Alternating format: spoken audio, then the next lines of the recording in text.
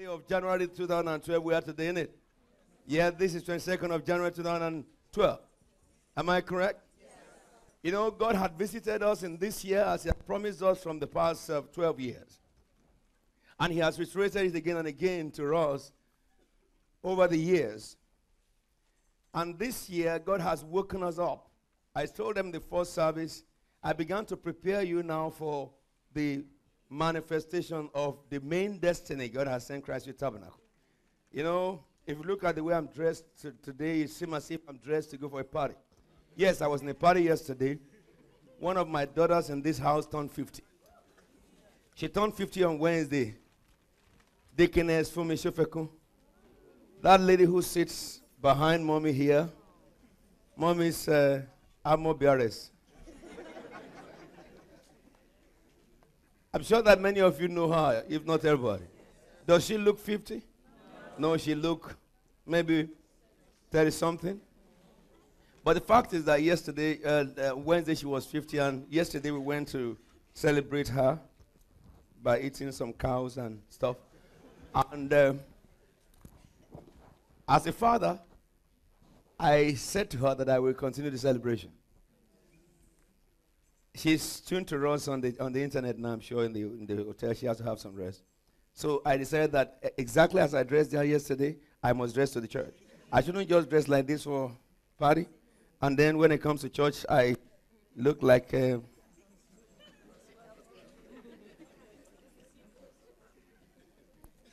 so, do you like how I look? Yes. Even if you didn't say yes, I say yes for you. Amen. I went to the cathedral during the week when they were walking in cathedral, and I was walking down the the uh, foyer. I said to myself that, my oh my, when this cathedral is finished, I have to rededicate my wife in wedding. I said I will reward her, and I, I, I stood. I said she will stand here, and the, the white gown of our wedding will be flowing all over the ground. That is, and I put some bouquet every step up. But now the fact is, I said to myself that this other wedding that I wed her, she's the one who has to say I do, not I. I said I do many years ago. So now I'm going to tell her that do you do you do you decide to, to make this man your your your wedded husband? And she must say I do. and I was enjoying myself, you know, with the scenery there. That blessed are those who wait patiently to be wedded in the cathedral. Mm-hmm. Well, the work of the cathedral is going on fine. Thank God we have finished our roof, which costed us about 300,000 and which was done by our voluntary donation in this house. And today at the third service, after the third service, I've said that every member should come over so that you can go and see the roof. It's good that when you put your money into a project, you see the project yourself completed. But at the same time, you're going today, if you have the time or during the week, they will start stripping off, they've started stripping off the inside. You will see the wall of the, in, in, you know, the auditorium itself as it was built 1937. You know, they have put wallpaper, cosmetic. They have removed the wallpaper now. And when you enter, you can see how the wall really looks at the foyer at the back. It looks so gorgeous. And so by tomorrow, we're going to have a lot of men coming here from Ireland into the cathedral, they will start ripping off the carpets and they will start um, ripping off the whole wall on the side, and the interior will fully begin. Our target is that by March, third week, they will have finished all the interior so that we can have our convention there. And for the sake of this, we have moved our convention this year from first week of March, first Sunday of March to first Sunday of April. So that convention will be the last Monday of March into the first uh, um, Sunday of April. Now, what this then also means is that I believe very much that we are sitting on gold here in this church. Because the second phase that we are going into will cost us about a million pounds.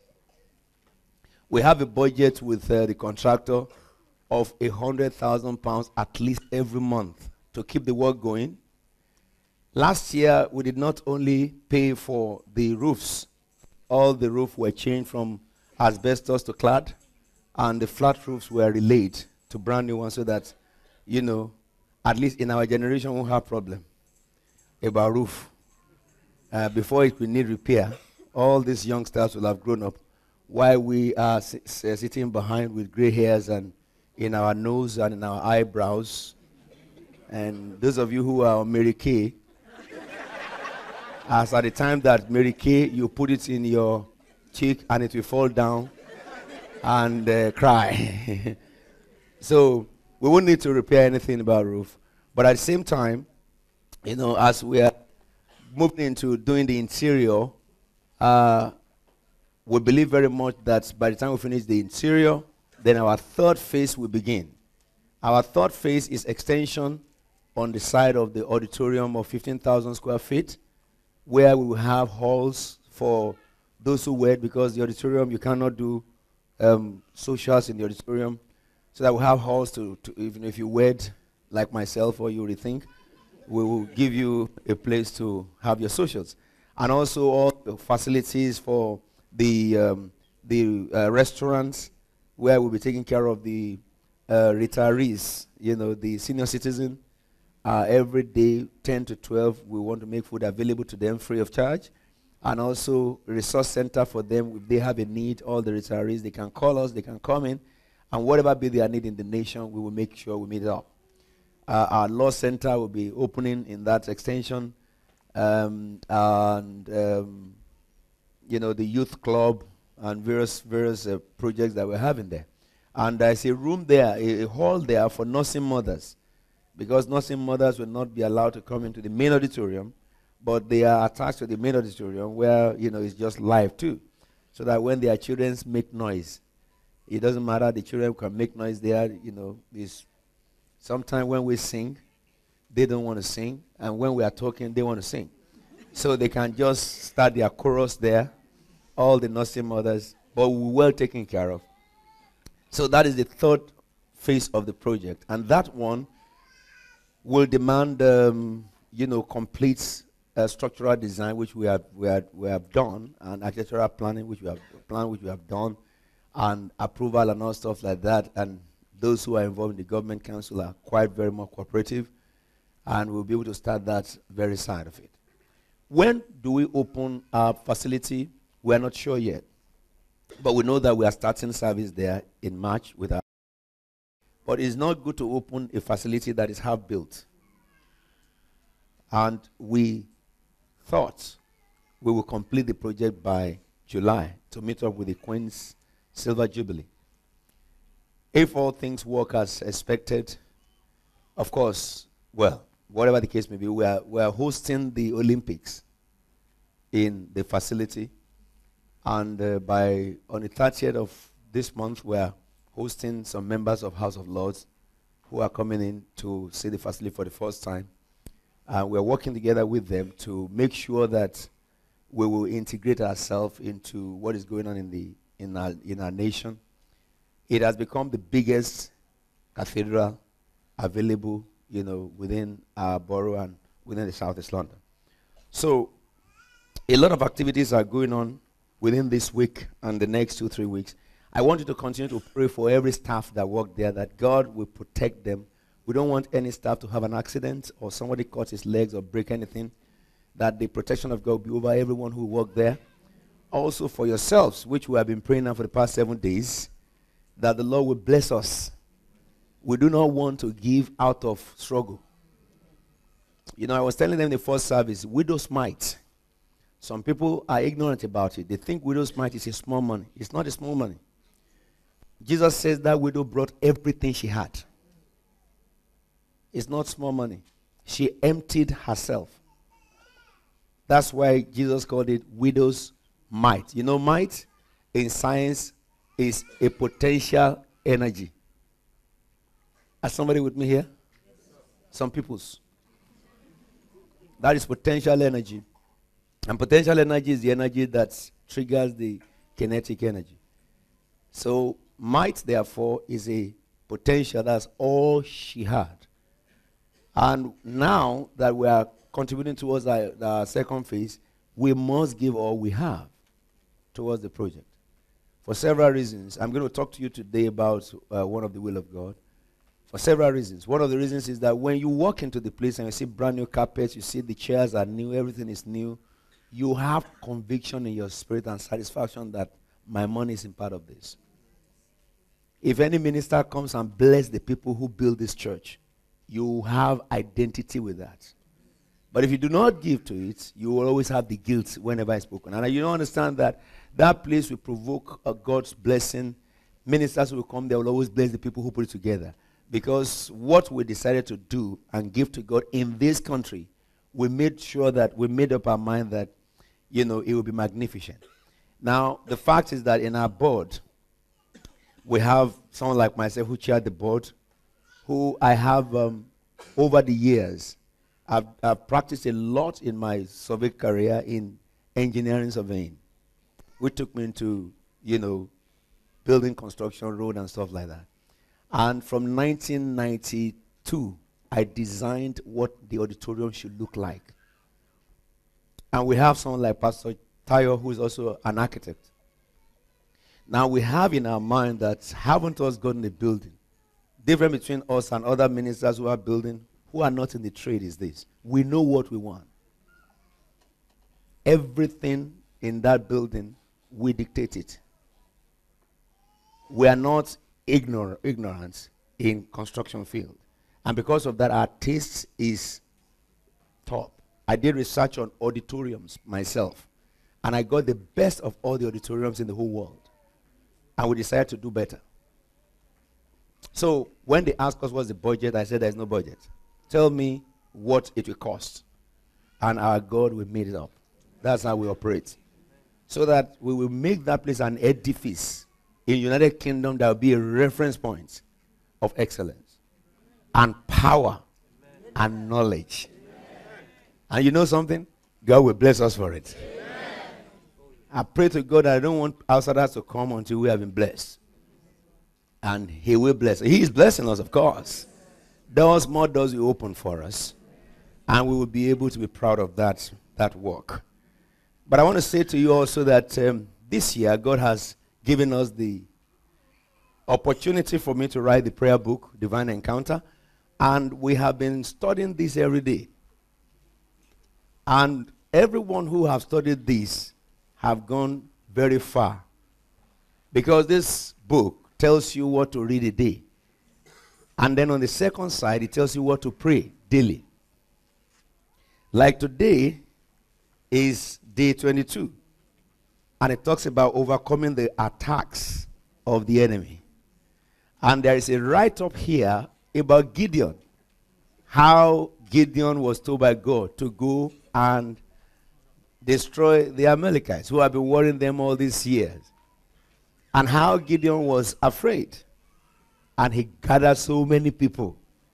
And how God weeded them to 300 from 33,000.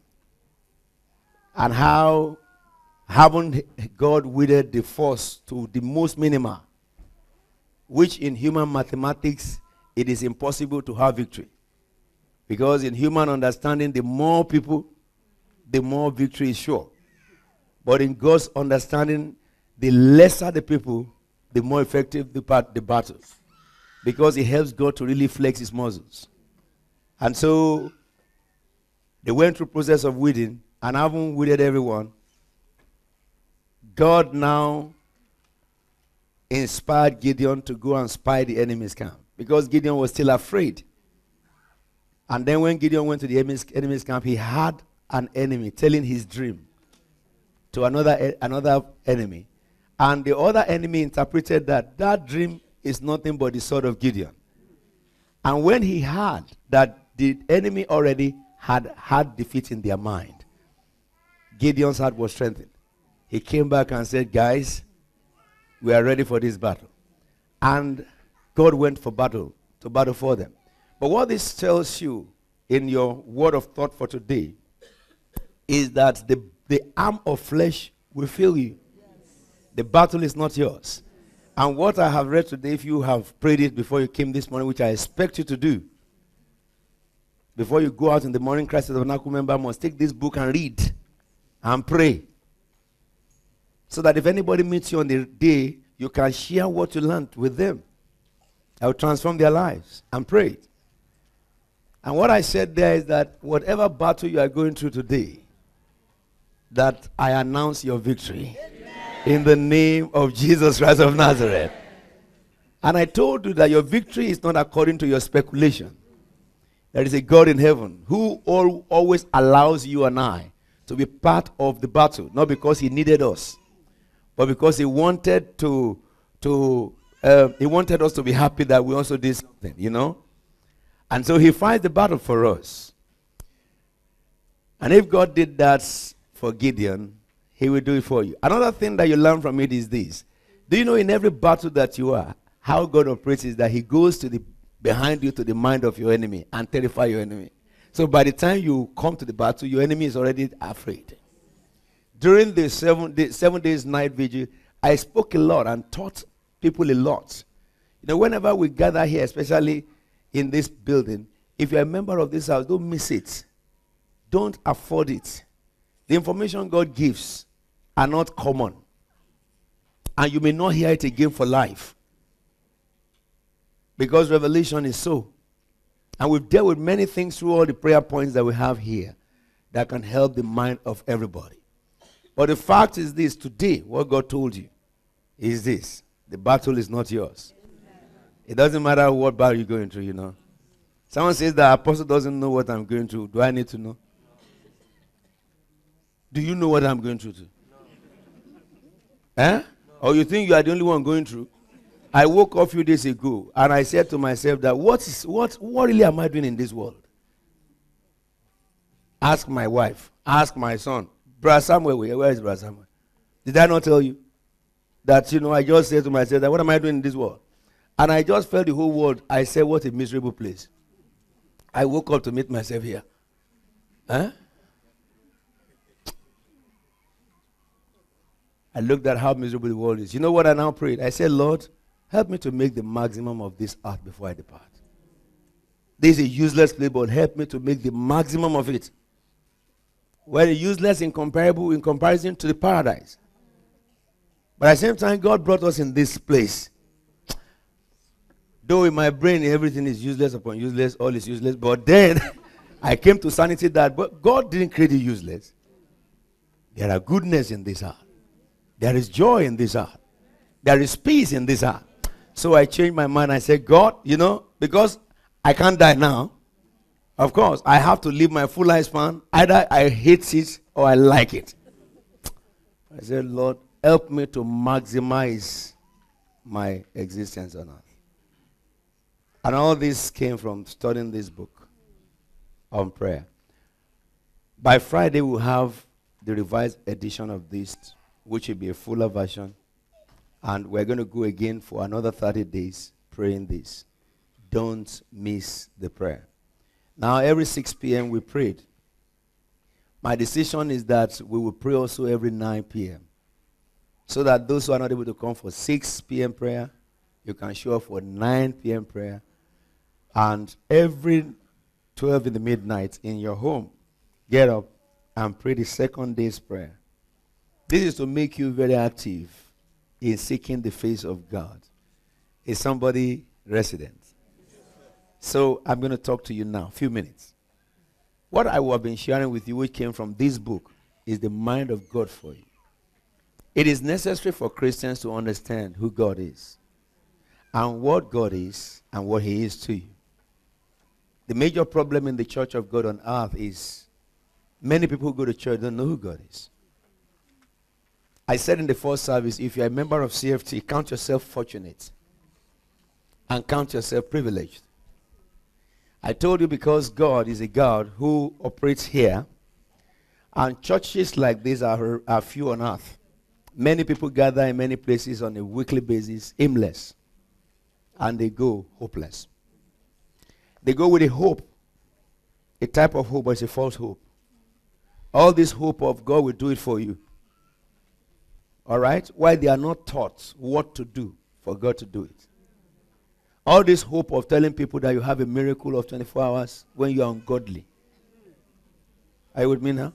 And the people will believe in it and their hope will be dashed.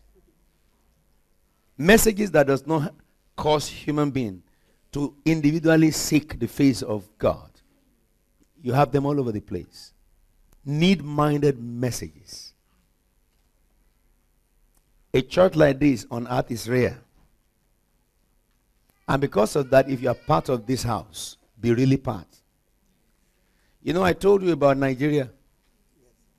19 is it 2009 when God revealed to me that I saw people coming to bomb Nigeria. They came from Niger Republic. I saw it. I warned the government of Nigeria. It was published in five papers. One of the governors heard about it and he sent people and they, they, they arrested people in his own state. He, his friend was there when I first said it, before it was published. Told him that night. And second day he went and rounded them up. But let me say this to you. The church leaders neglected it because whose mouth is speaking? And I kept my mouth shut, came back to my base. Because this is where God sent me. If it is here, if God says anything to me here, I go to 10 Downing Street, go and check the internet, you will see me in 10 Downing Street. We talk to the government of Great Britain they listen. We talk to the church leaders of Great Britain, they listen. But Nigeria is not so. When they started bombing them, I reminded you what God said. Recently, when the bomb started, you remember what I said? It is just the beginning of sorrow. Yesterday, did you know what happened in Nigeria? Over 160 people have been killed yesterday in that nation. Three days ago, let me tell you this pastors in Nigerian pastors in London gathered themselves together. They called me and I went. We held a prayer vigil on Friday for Nigeria, but on Friday day, we decided to go to Nigeria embassy to go and see the ambassador and tell him how we are not happy with the killings of our fellow brethren in Nigeria, and especially how we are unhappy at the way the federal government of Nigeria has uh, acted in this case. When we got to the embassy, those of us who went are supposedly Nigerians, even if we're half Nigerian.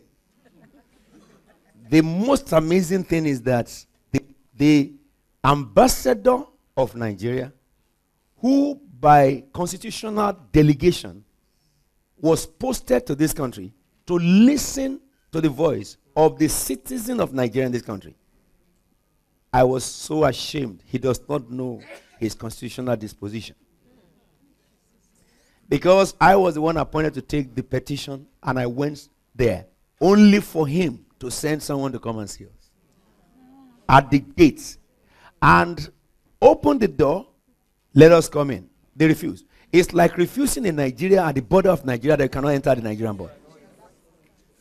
So I stood there and I told them that you made they, they made a mistake. It is Apostle Alfred Williams.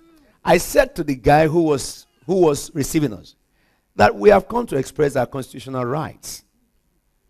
But it's unfortunate that our constitutional dele- dele- delegates had failed in his duty.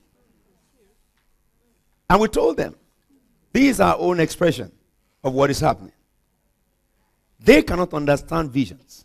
So we have no we don't talk visions there. They, they should understand law. And that's why we must speak with them.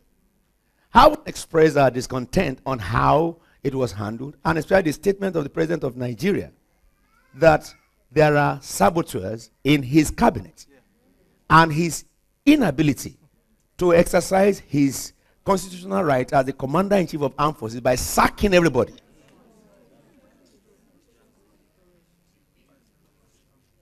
We delivered our communique.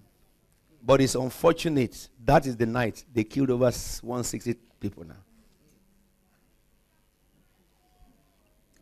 But you know what I'm telling you this? God spoke here. God told Nigeria the solution here. I went to Nigeria and told the church leaders the solution in the hands of church leaders. But the church leaders now are doing what they like. I'm saying that to tell you this that you are in this house where God speaks. Don't take it for joke. Every child always surpass the appearance. I don't give you message to make you feel good. I hear God and I tell you, you look at it, you hear it, it happens. You should do better than me. Are you with me now? Is it too fast? No.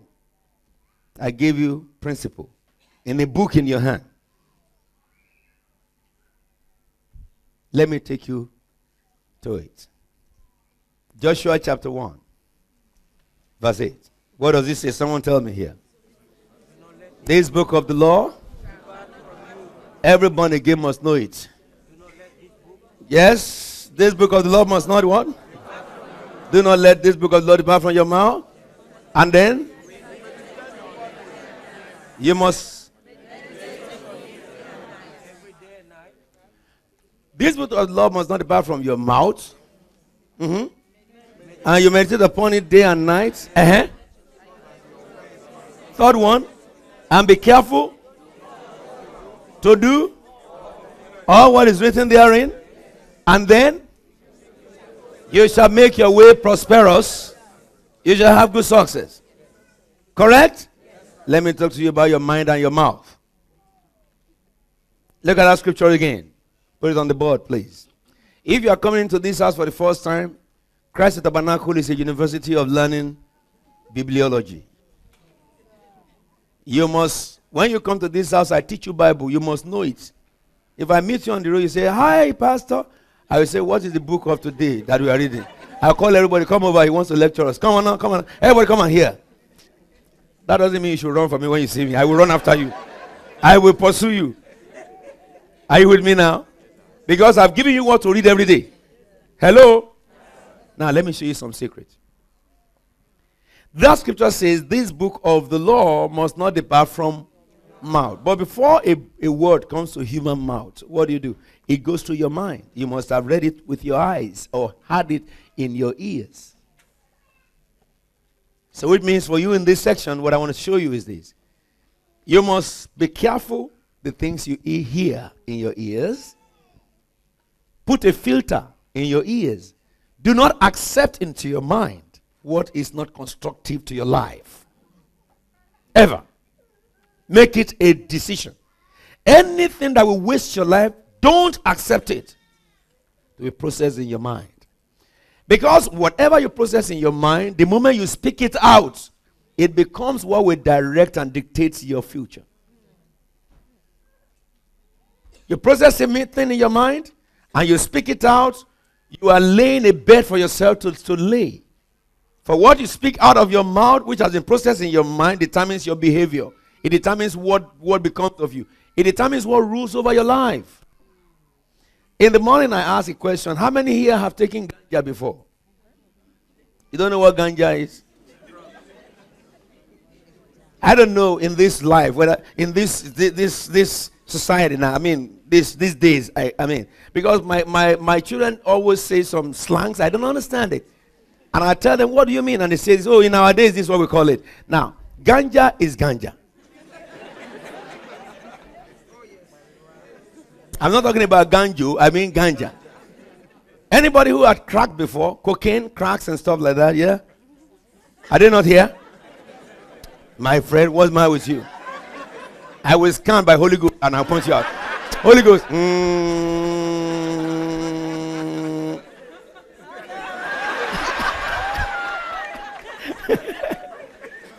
Do you know something about crack cocaine and, and ganja and all these drugs? How do we come about them? Association. And the association gets it into our mind through communication. Someone spoke about it. You saw somebody smoking it, and it's your friend. And when he smokes it and he heals it, it speaks about being high. So by hearing something that deposited in your mind, or by what you watched, and before you know it, your mind begin to process the thought. For you to smoke crack or ganja or to dope, you must ask for it with your mouth. Okay? So the first day you ask for it, they give you. Maybe you cough, maybe you feel uneasy, you feel dizzy, you feel vomiting, you feel all manners of stuff. Next time you ask for it again. By the time you ask for a few times, your body adapts to your asking. And after a period, you don't need to ask for it, you thirst for it. And if you don't get it, you don't get well. So it begins from sight or hearing and process of thoughts and then acting, which is decision spoken. And then as you continue in it, though your body hates it, though you don't like it, okay? But because it's what you process in your mind, which has become a decision, you find yourself in it. And you get to a place whereby that thing now rules over you. Don't you understand? Out of the abundance of the heart, your mouth speaks. If it is so with addiction, it is even much more so with the Word of God. If the process of getting addicted is just this, so also the process of getting very godly is just this. The problem of Christians is that many of us don't know the principle, and some of us who know the principle don't obey the principle. Whatever you process in your mind and you speak out of your mouth determines what your future is. Keep it. So, therefore, Joshua says, This book of the law must not depart from your mouth. Why didn't he say from your mind? Because it is not just in your mind. Anything that goes in your mind may not come out of your mouth. There are many thoughts you have. You don't speak it, do you? Because you know some of you will have some thoughts in some places. If you speak it, it's so disgraceful. Am I talking something? But the things you speak, therefore, is the resolution of abundance of your thoughts. That's why Joshua said, This word of the law must not depart from your mouth, not from your mind. And then he says, for what you speak out of your mouth, you must meditate upon it. In other words, when you say something, listen to it and think about what you say. Listen to what you say and think about it. Do you know something? If you have this understanding I'm telling you today, you will fall into less trouble with people. Because anything you want to say to people, you first listen to it in your heart before you utter it. Because once you utter your word, you can't pick it back. I get me now? Anything you say now, you cannot withdraw it from the hearing of those who have heard. They have heard it. Even if you say you are sorry, what you said originally has been registered. And most times, your first statement is what people will accept. They will not accept your, your apology. Because what they were saying that, what dare, what dare you? I mean, what made you say that? If you didn't mean it, how can you say it? Especially when those statements are wrong. They can easily over, overlook the statement that is right. I will take you in a little bit into that and we'll stop. So, confession in your mouth, meditation upon what you have said or what you're about to say, and then obedience to the things that you say. If you can combine these three, you will make your life prosperous. Now, listen to me, therefore, which means, therefore, that Anybody who is not prosperous on earth has nothing to do with Satan when you are born again. Those who are not born again, Satan can Satan is the one who rules their kingdom. Either they accept it or not. But when you are born again, for you to make yourself prosperous, then you will be prosperous and what? And be successful. Give me the New King James Version. It says, for then you will make your way prosperous and you will have what? So it is not God who will make your way prosperous, it is you. God had created prosperity already and He created disaster. You have to choose.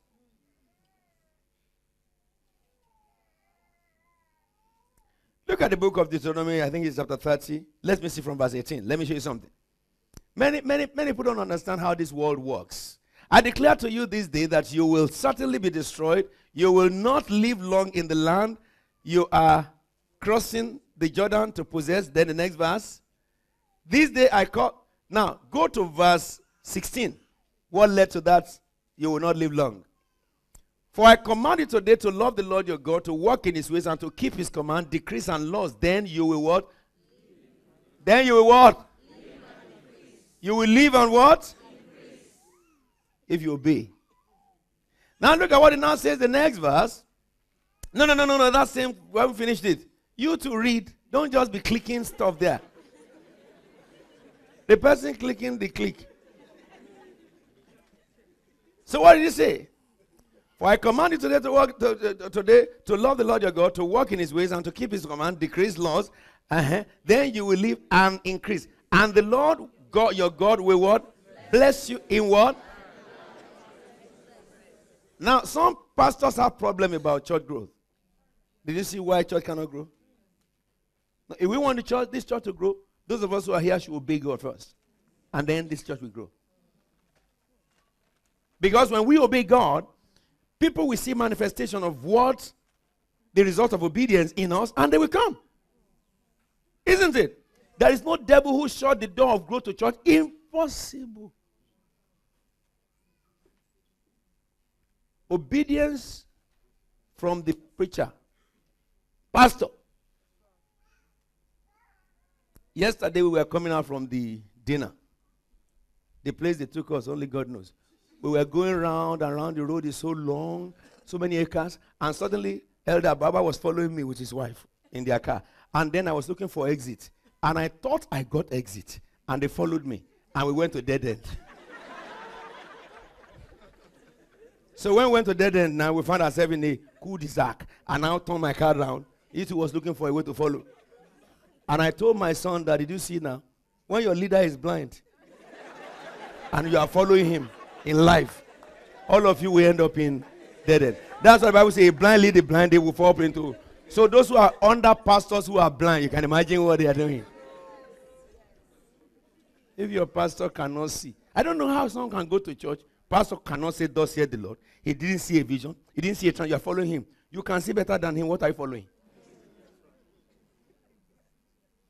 If it's only to just share the word of God, and you, you, you can, share the word of God. Have you seen a doctor who doesn't know how to use stethoscope?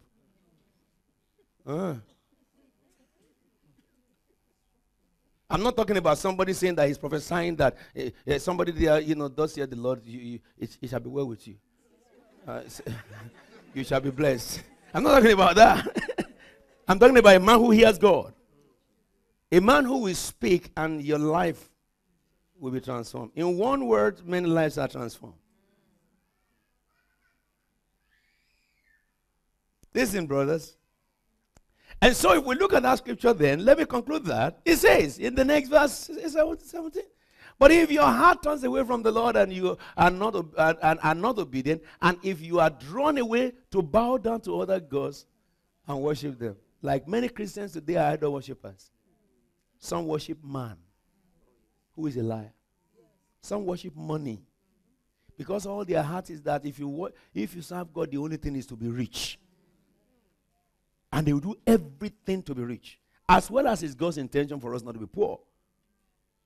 But if riches rule over your life, it will become your God. Are you with me now? And so he says here, if you bow down worship them, then I declare to you this day that you will certainly, inevitably be destroyed. This is the reason for destruction of many believers. Because you disobey the word of God. You have your own obedience different from what God had commanded. He says, You will not live long in the land. You are crossing the Jordan to enter and possess. Look at the next verse 19. This day I call what? Heaven and earth as witness what? Against you that I have what? Set before you life and what? I love it. Blessings and what? Now, shall we read the last line? What did he say? Now choose.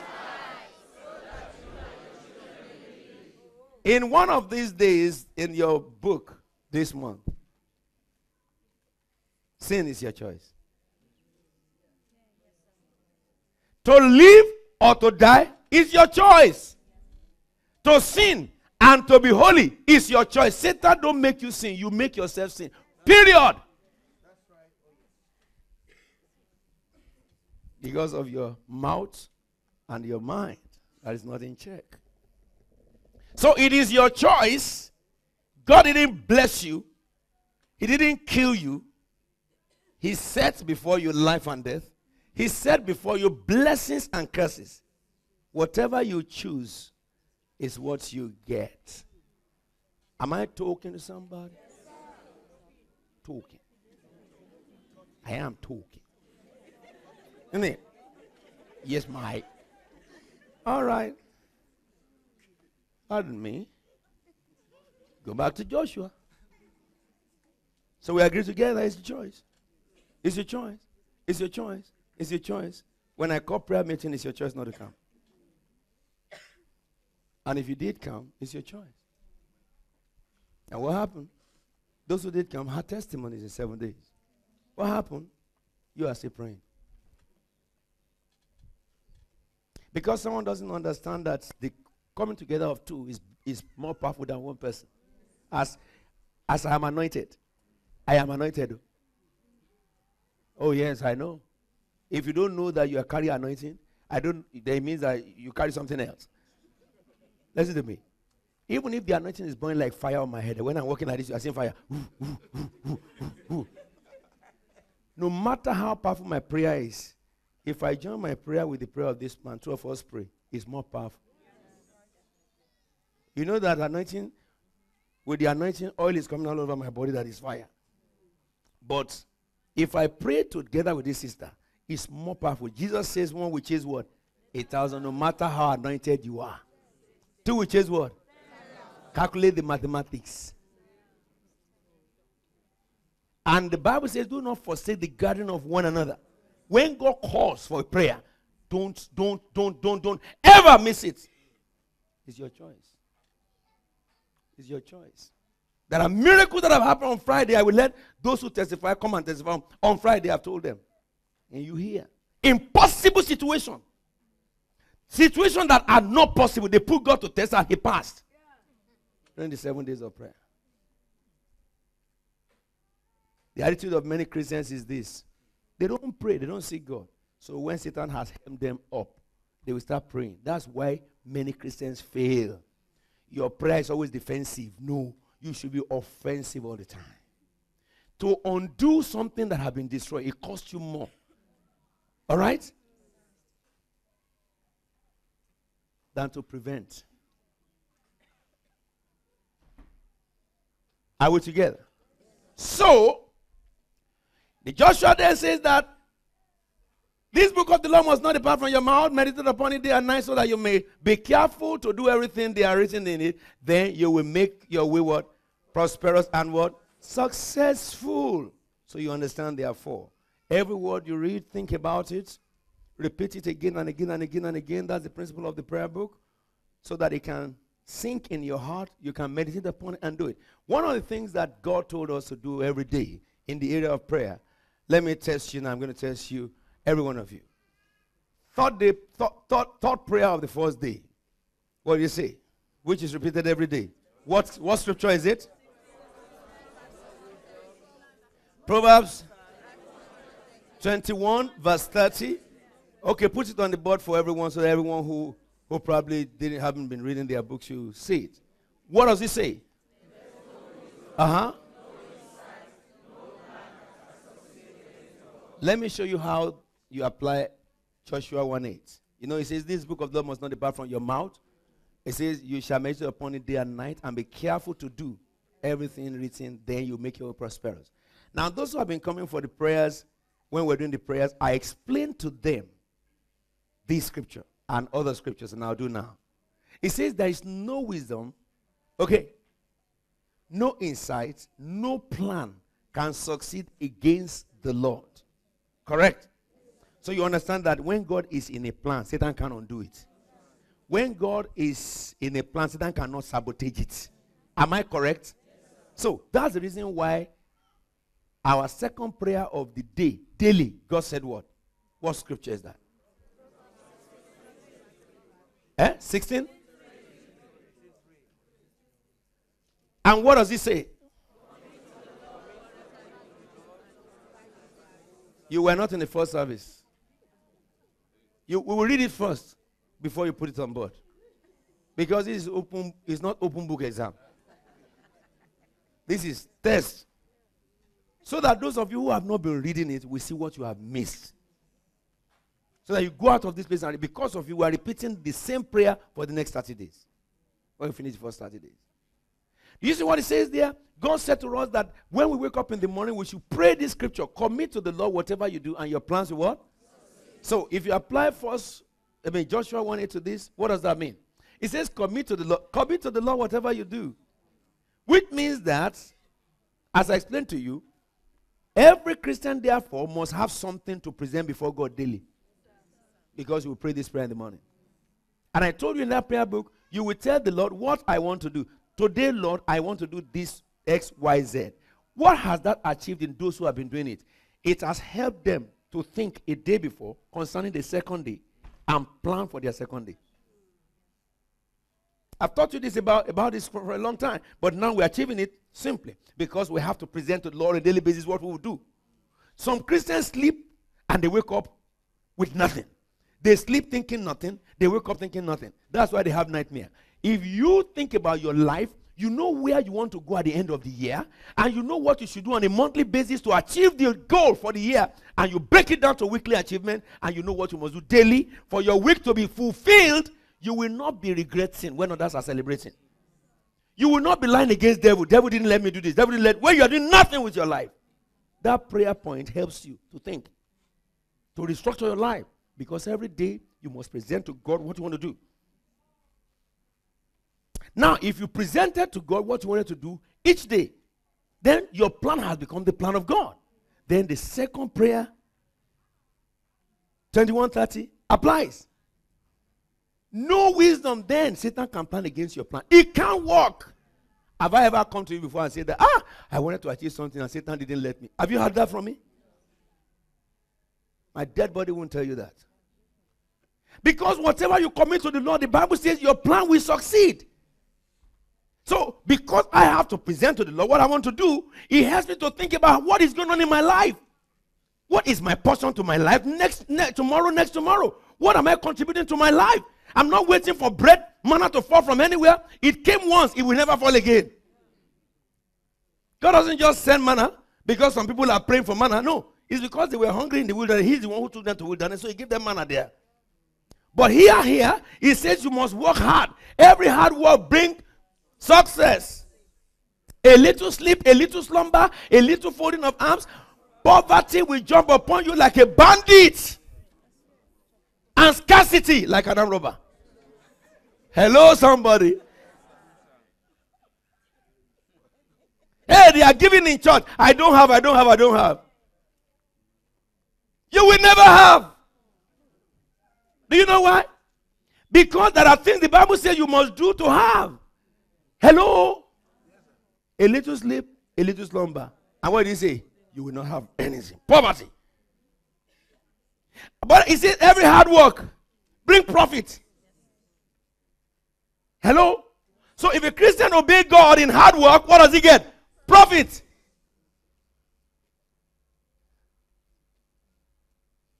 If you're a Christian all the time, they want to buy. You want to buy things. Yeah, oh my God, I wish I had money. Let your, your mind change. You didn't have money because you didn't obey God. Hmm? To work. If you obey God to work, you will have money. Or someone says that there is joblessness. There is no work in England. I was watching, I was listening to, to LBC during the week, and LBC said that there are 300,000 jobs now available in England. They were talking about why the Western European came to England and took the job from citizens. You're British, I'm British. British. And when you're British, ordinary job you can get. You, you are just going to say, I'm British, I'm British. We're British. And those who are Eastern European are coming and getting jobs. I'm graduate, and graduate. Is a graduate what? Carry your gra gra. go, get go get a job, my friend. get a job before your gra gra is talking. Huh? Uh-huh. Look at now. Commit to the Lord. So you have to plan. That is what the word does. the ultimate heart of God for you. Third John. Third John, let's see one and two. What did he say? Oh, yeah? Thank you. Don't worry. Third John. It says, To my dear friend Gaius whom I love in the truth. You know, if you are going to be working on this thing, your the Bible, Bible must be must be pumping in your head. What did he say in verse 2? Dear friend, I pray that you may what? Shall we read it together?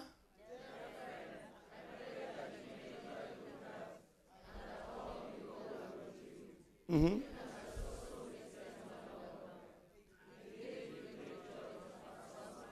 No, verse 2 I said. Look at the, N- the King James Version, New King James Version of it. Behold, beloved, I pray that you may prosper in all things and be in health just as. Go back to the NIV. It says, Dear friend, I pray that you may enjoy what? Good health, and that all may go well, even. Now, let me say this to you, therefore, which means that the level of prosperity you can have depends on your soul, your thinking, your faculty. Here, that's what it's talking about. Your mind. You remember Joshua? This book of law must never from your mouth, you must meditate upon it in your mind. Now, the wish of God for you and I is that we should be healthy all the time.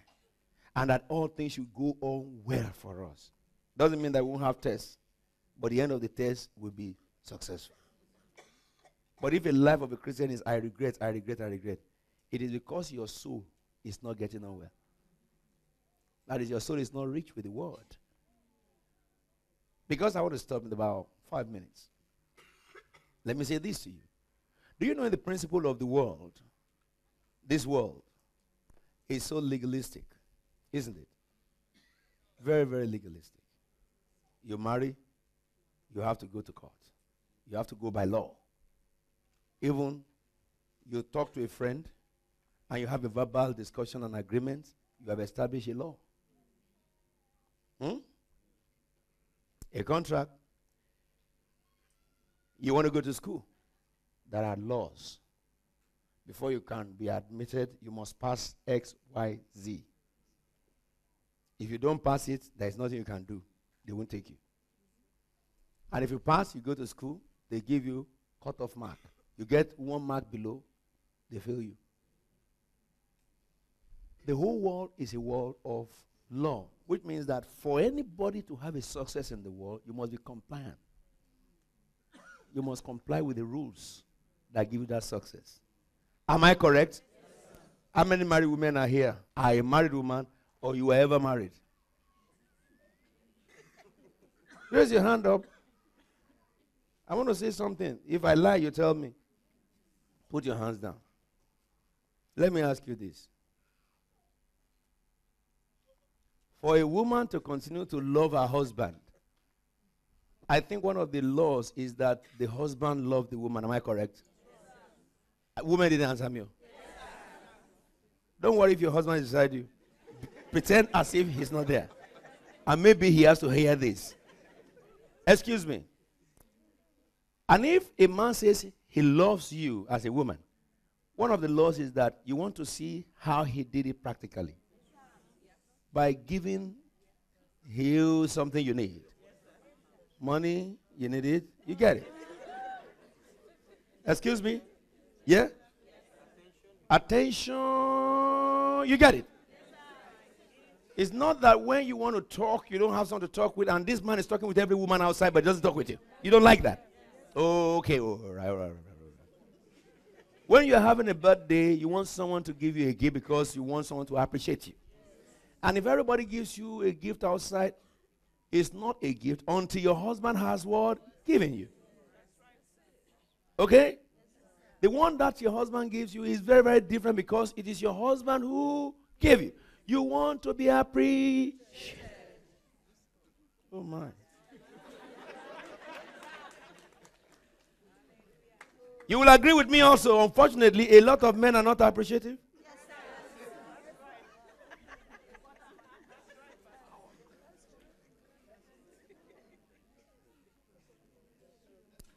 You will agree with me that a lot of men always say thank you inside.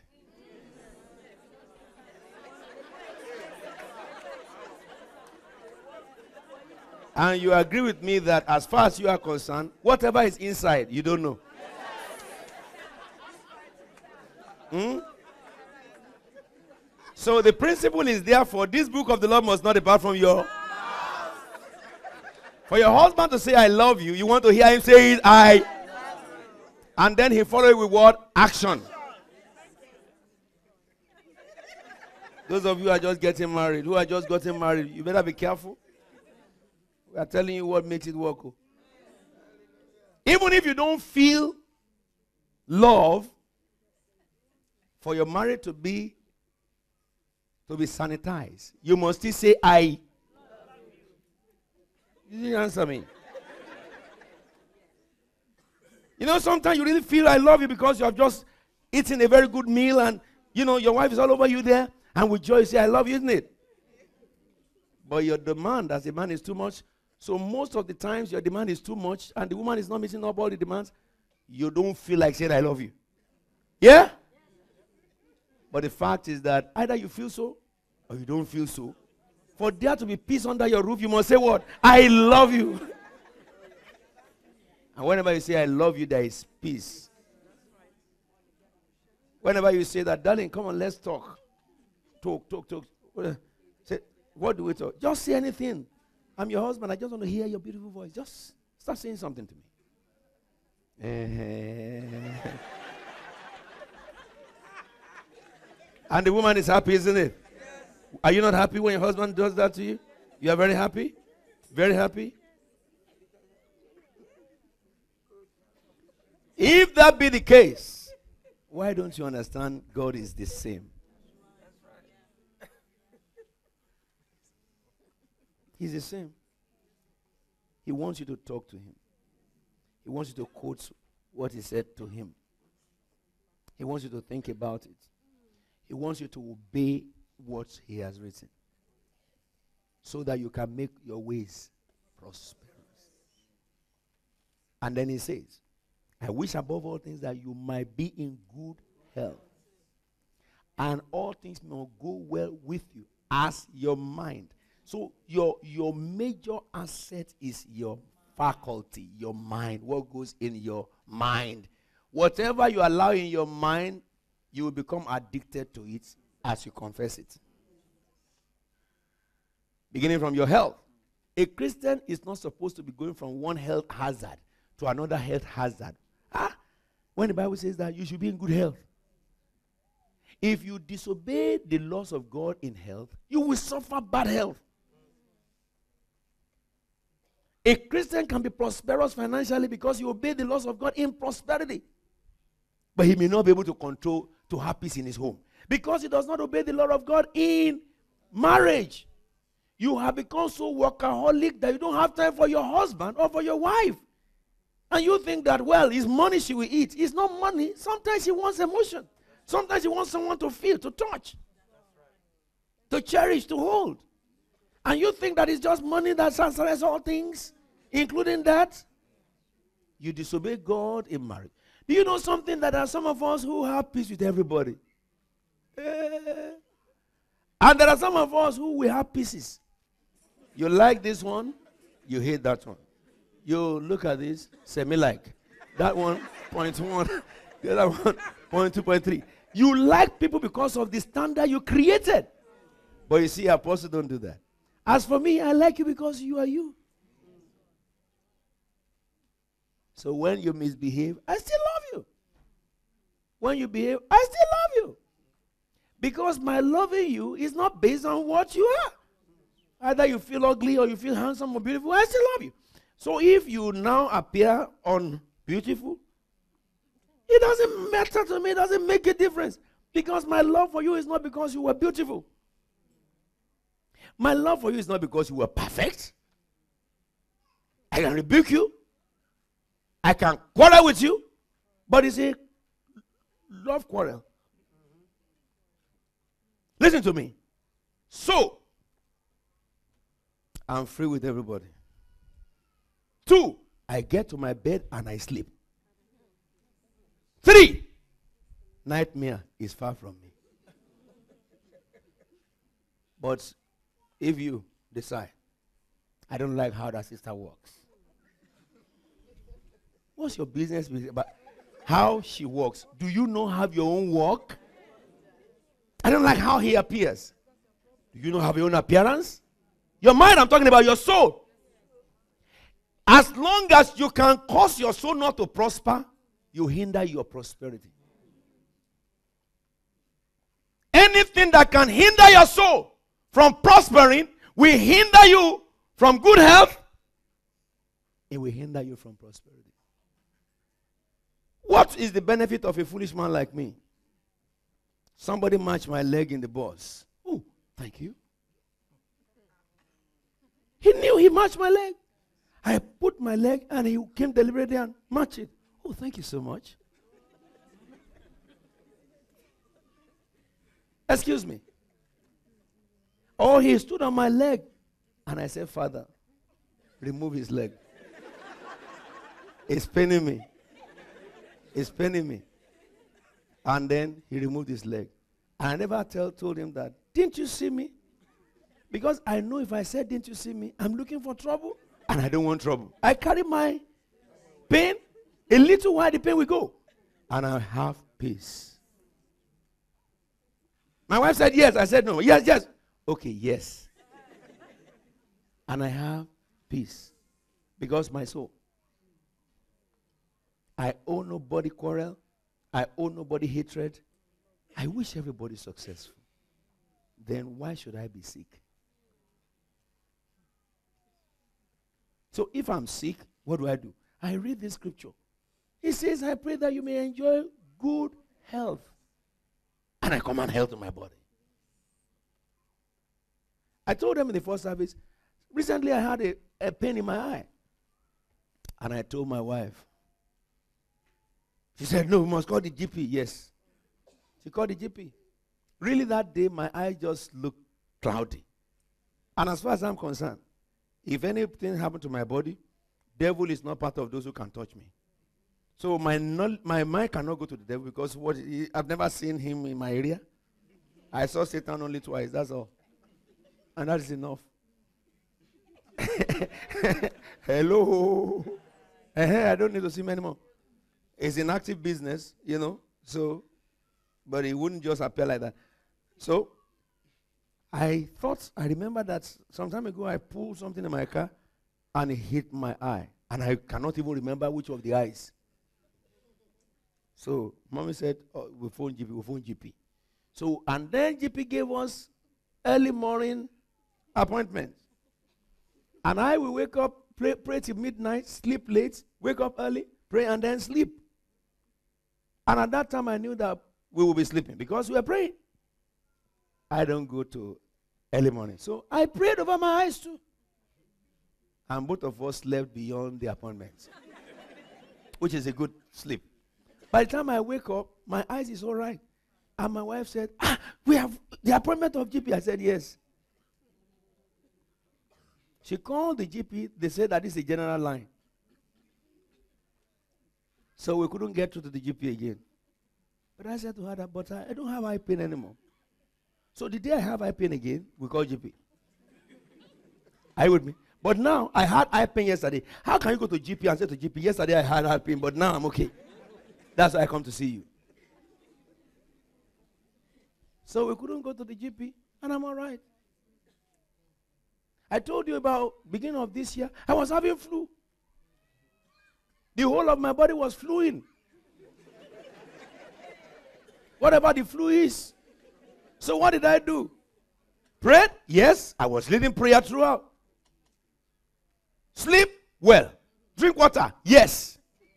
I drank so much water. Because I had someone say before that if you're having flu, drink much water. I, I drank water. And I slept. And I prayed. Because I have to be conducting prayer.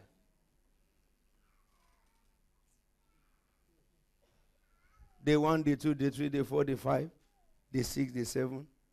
And the flu was going, and it was going, and it was going, it was going, and no more flu. You must enjoy good health. A lot of sicknesses have their origin from your soul. I don't have hypertension. I don't have high blood pressure. And I don't know how it can come in. I give my heart peace.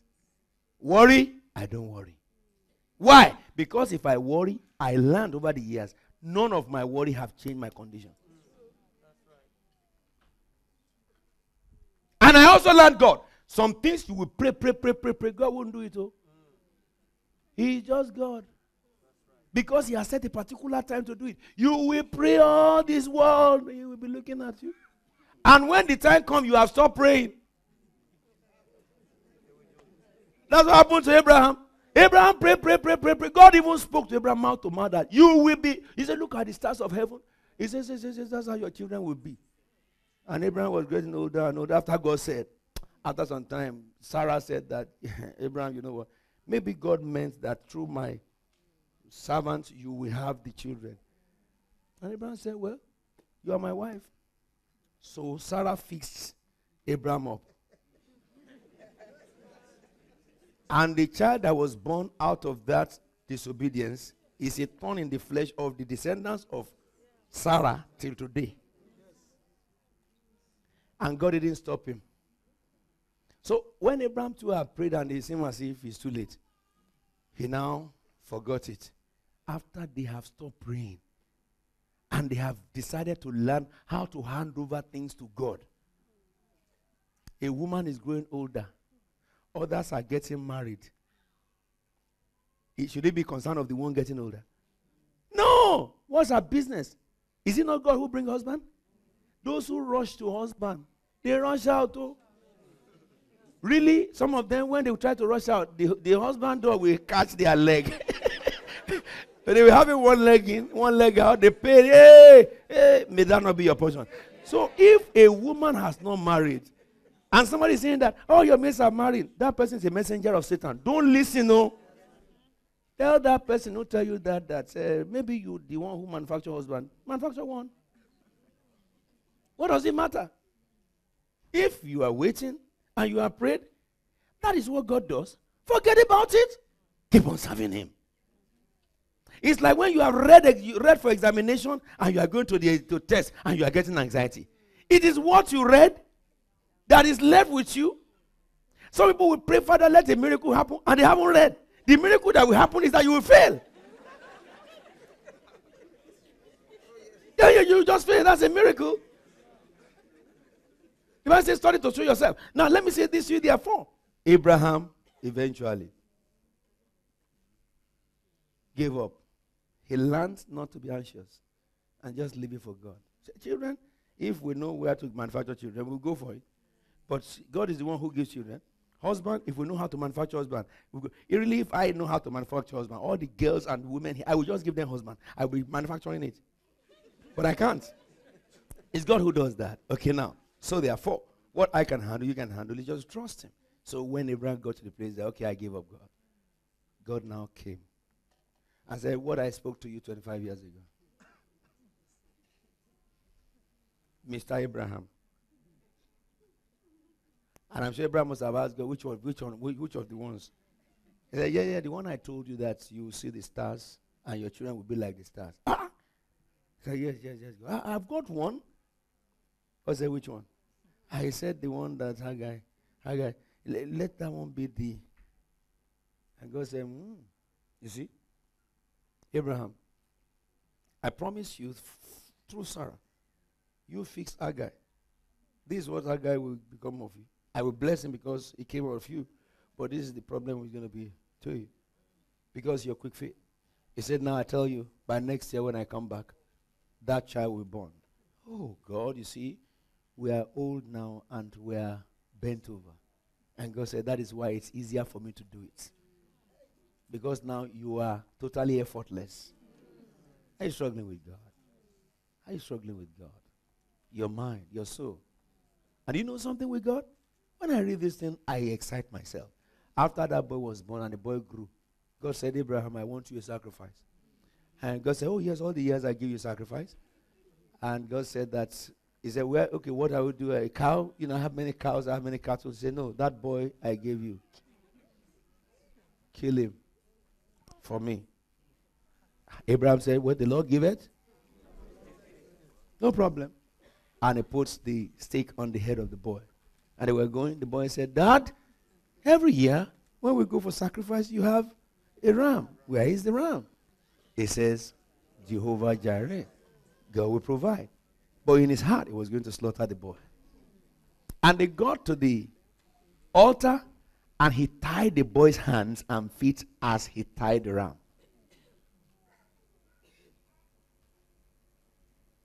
That is all he has. Which God had promised. If it was some of you, we say that devil is the one telling me to do that. Who will give back to the stars of heaven that God promised me? Your mind. Until you train your soul to that level, there's a level of health you cannot enjoy. There's a level of prosperity you cannot enjoy. He had to take the knife as he was going to slaughter the boy. God said, Stop. You pass this test. Somebody will pass the test of God today. Listen, therefore, I leave you with this. What matters is not anything around your life, is your soul. Can I say this to you also? Some of you are asking God for a reverse of some things you have costed yourself. Let me talk about health. In our prayer book, we deal with physical exercise, profit the body, isn't it? And spiritual exercise, what? Profit in all all things. So, which means the Bible says that you should do physical exercises. Is that correct? and the Bible says you should watch what you eat. Is that correct? I didn't hear church. so, what happens to somebody who doesn't watch what he eats? He commits sin by eating too much. It's a sin. To eat too much is a sin. That is being gluttonous. Glutton is sinful. Gluttony. It is very sinful indeed. And after you have eaten according to your hunger, your body does what? Bloats. Ah, am I not talking to some people? I love women who increase in size and they decrease. Are you with me now? Because they have trained their mind to recognize that the day I put on my size 18 and it can't go, ah, something is wrong. And you see them going to the gym.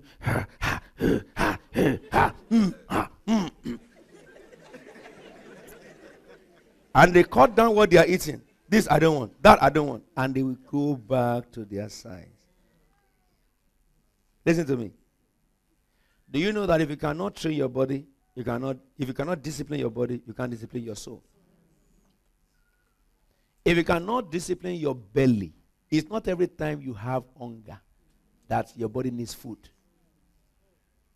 It's not every time they put food in your front, you must finish the you there's nowhere in the Bible that tells you that you must finish the plate. I'm talking about spiritual laws. Did you see a Jesus with big belly? When Jesus came to the world and he had big belly, and then his trouser, he has to put it on top of his belly. Did you see that kind of Jesus? Why? He treks miles going to preach. Sometimes he doesn't have time to eat. Not because he doesn't want to eat. Sometimes there is food he will refuse to eat. Because you must subject your body. We did all this in the week when we were praying. Your soul determines your body. Your soul determines your success. Your soul determines your future. Stand up on your feet. We're going to pray. You're going to tell God, Father, assign a messenger, your messenger at the door of my lips. Enable my soul to cooperate with the mind of Christ. Lift up your voice. I'm going to pray. Enable my soul to cooperate with the mind of Christ. I must be fruitful. Tell the Lord to help you to be fruitful.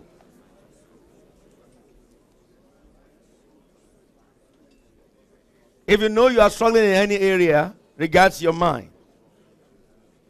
Talk to the Lord about it. Father, we pray thee. Grant me success in my heart Grant me success in my faculty. Enable me, Lord God, to be fruitful in the realm of my mind. We thank you, King of heaven. In Jesus' anointed name we are praying.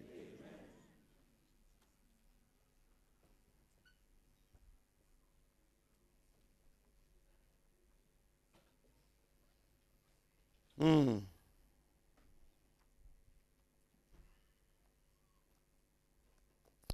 Lord, I pray for everyone here that is sick. I look at the sickness of the soul today. There are some people who have attitudes in their mind, and the attitudes control their lives, and those attitudes are ungodly. Lord, I arrest such hearts to obey Christ in Jesus' name. Amen. The Bible says, casting down every vain imagination and taking every thought captive. Every heart that produces vain imagination, we arrest to obey Christ. Amen. There are some of us who have sinned in our eating appetite. Father God, I ask that you forgive such sin and Lord, I command every stomach wall that is oppressive to be regulated. Amen. Father, in the name of Jesus Christ, I decree that our stomach will not rule our world again. Amen. People who have been held bound because of their unfruitful mind, Lord, I ask for healing to come to every man. Amen. People who have not been reading the scriptures, and because of that, you are not able to accelerate with the grace of God is upon, that's upon their lives. Lord, I ask that you heal such mind. Amen. Help us, O God, to commit ourselves to the urgency of heaven. Amen. That your name may be glorified. Amen. This we ask and believe in you've done it, even as you ask in Jesus' name. There are people who have health conditions here. As it is, Lord, you said, according to the scripture, you you you pray that will be of good health. Everyone that is suffering from health condition, I bring them to the pool of your healing. Amen. I command your condition healed in the name of Jesus. Amen. People who are having tension in their marriage, I command peace into their marriage. Amen. Father, as we go this week, we come on Friday to testify that all your heart for us is fulfilled. In Jesus' anointed name we pray.